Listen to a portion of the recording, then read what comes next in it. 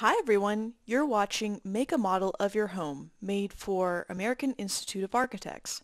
This video is a companion piece for a live virtual course intended for children ages 10 through 12, and it will require some adult supervision as we use some more advanced tools. My name's Olivia Morgan. I build models for a living and own my own DC local model building business called Model Space. I'll walk you through all the steps we take in our own shop to build models. In this picture, you can see me holding a model of a slightly more advanced project I built for a LinkedIn Learning course. Parents, if you'd like to learn how to build a model like this, check out the link in the description below. In this course, we'll cover how to make a scale model of this home or any other building in your own neighborhood using a few simple steps and common household tools. I'll go over some of these steps a little quickly, so feel free to pause and rewind at any part to catch up. If you're unable to attend this course live, you can still follow along with this tutorial at home. I have all the printable content you need in the video description. Before we get started with the building, let's talk about what we learned in last week's lesson. Last week, we covered the big model building steps, which are getting your building information, making fabrication plans from that building information, and then using those fabrication plans to build your model. For this course, I took photos of an apartment I wanted to build as part of my building information. So from that, I got a few images of the building faces. An architect would call these facades or elevations, so you might hear me refer to these images as facades or elevations throughout this lesson. Once I got my pictures, I started to take measurements of my apartment building.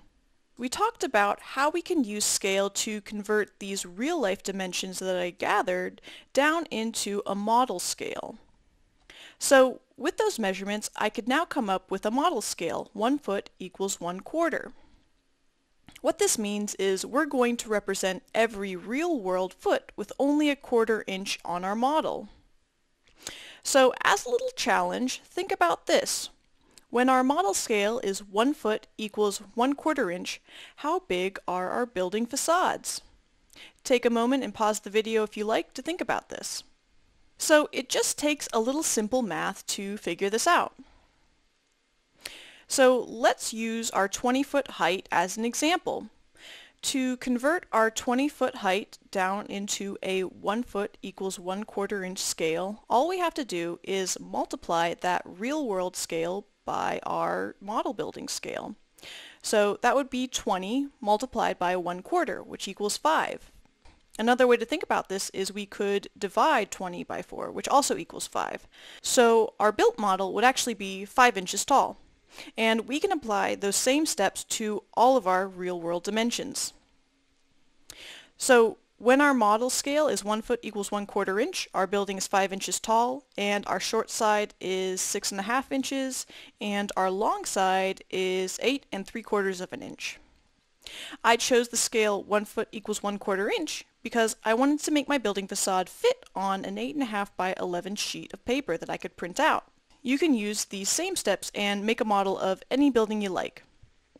If you'd like to follow along with me though, I've included a PDF download in the description below of the building faces scaled down to 1 foot equals 1 quarter inch. Remember parents, when you print those out at home, make sure that your scale on your printer interface is set to 100% or actual size to make sure that these pieces are printed out at the right size. So we just covered our first two steps of the model building process. We got our building information with the photographs that we took, and we made our fabrication plans by scaling down those photographs to the right size. Now, with our plans, we can move on to the final step, assembly. To assemble our model, we're going to follow these three basic steps. We're going to glue those printouts to some foam core. We're then going to cut out the printout and the foam core to make our walls. And then finally, we're going to glue those walls together. For the assembly step, you're going to need a few tools and materials to get started. If you'd like, you can pause the video here and gather your stuff. We're going to need an X-Acto knife to cut out our walls, and we're definitely going to want a cutting mat to put beneath our project to make sure that we don't cut on our table. A piece of cardboard would also work. We want a metal straight edge to make sure that we're cutting nice straight wall edges. And we want some hot glue to glue our walls together and some glue sticks to glue our images onto our foam core. And for our materials, we're going to want, of course, the printout of our building facades, and we're going to want 3 16th inch thick paper foam core, and you're probably going to want that in about a 20 inch by 30 inch sheet or more. In our first step, we're going to trim around those elevations you just printed out. We don't want to cut all the way to the edge, we want to leave a little bit of that white edge.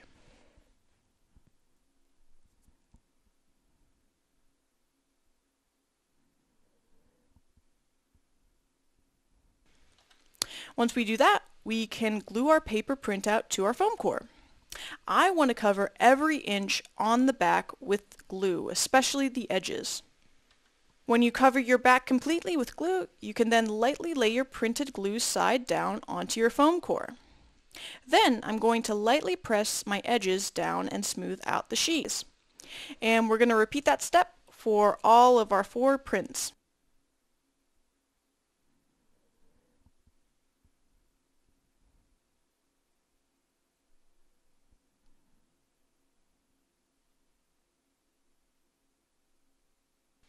With all of our prints glued to our foam core, we can now cut out our walls.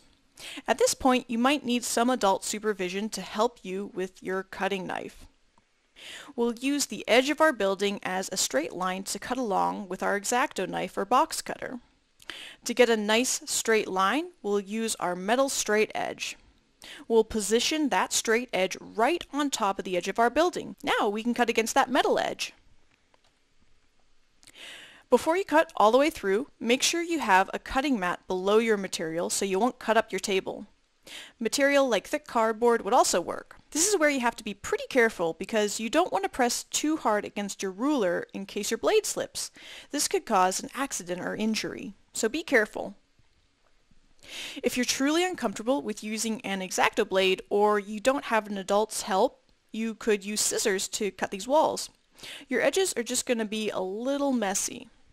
I find that dragging your blade with light downward pressure across your material is the best way to go. You can then run your blade across that same line a few times to make a full cut. Usually I don't want to cut all the way through my foam core on the first pass with my blade. This is just a safer method and creates a much cleaner edge.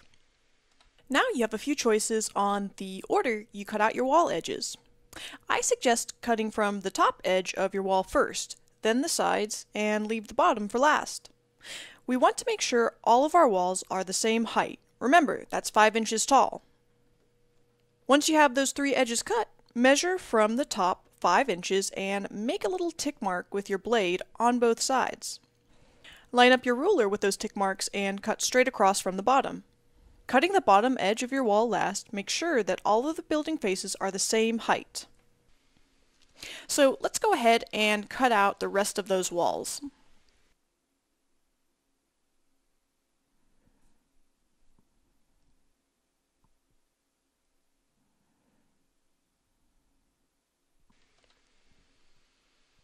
Now we have our four walls and we can glue them together with hot glue. Before we do that though, let's talk a little bit about our material thickness. Remember our discussion about scale? We're using 3 16th inch thick foam core to construct our exterior building walls, and we're using 1 foot equals 1 quarter inch scale. So how thick would those walls be in real life? Pause the video here if you'd like and think about it. So our model material in real life would actually be 9 inches thick.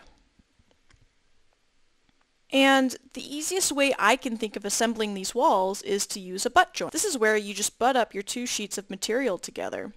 But in doing this, we're actually adding 9 inches of thickness to each wall, and this makes our plan inaccurate.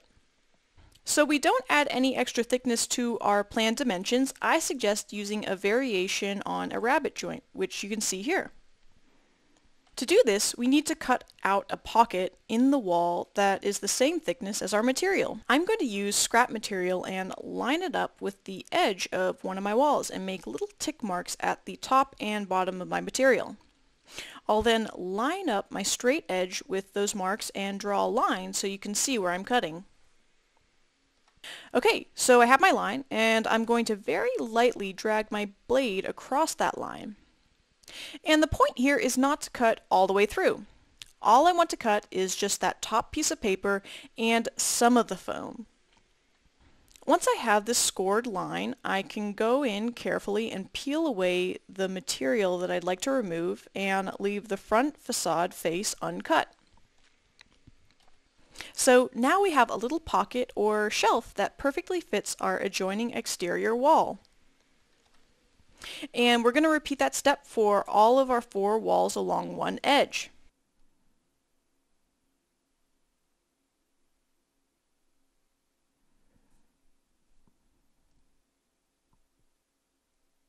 Make sure you only cut out one pocket along one edge and not both. Here you can see all of the walls from the back laid out with their corresponding pockets for reference. Now we can apply some glue to the exterior joint edge and press our walls together. Hot glue like this dries very quickly, so we're going to want to move fast before it fully sets. With our walls assembled, all that's left to do is to make our roof. We're just going to make a flat roof and used our squared up building walls to make an outline on our leftover foam core material. I'm going to line up my building to the edge of my material from the inside corner of my wall. I am then going to mark an outline of my building using the interior wall line. Now I can cut out a sheet of material using that line that I just drew.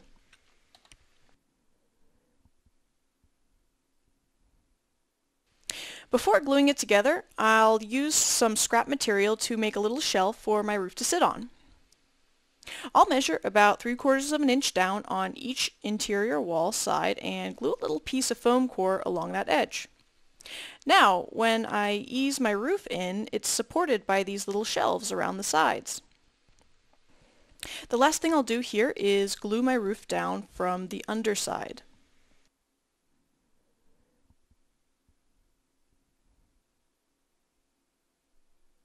And there you have a final assembled building. In this photograph, you can see that I've added in some details like trees and a base to my project, but feel free to make your project your own with different details. You should be able to apply the steps that we learned here today on any building in your own neighborhood. I encourage you to explore your own community and try to make a model out of a different structure using the lessons learned here. I want to thank you for joining me on this virtual model building tutorial for kids. If you want to see more of our projects, check out our website at yourmodelspace.com and get inspired. And once again, parents, if you want to learn more advanced skills, check out my professional model building tutorials on LinkedIn Learning. I have a link in the description below. Thank you again and happy building!